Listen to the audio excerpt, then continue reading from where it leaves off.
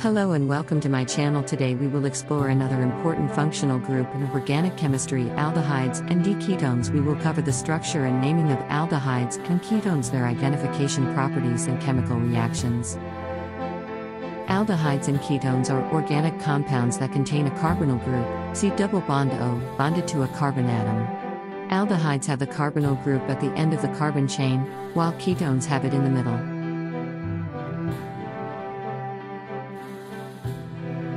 Aldehydes take their name from their parent alkane chains.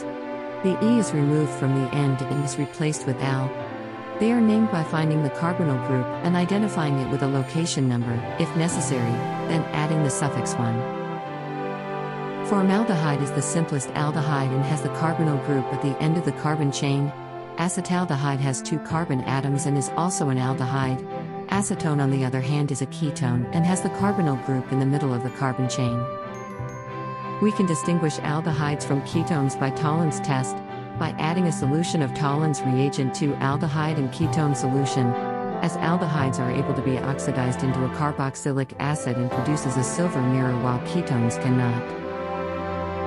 Some of the most common types of aldehydes and ketones include formaldehyde, acetaldehyde, benzaldehyde, and acetone dimethyl ketone methyl ketone. These compounds are widely used in industry and in everyday life from solvents to flavors and fragrances.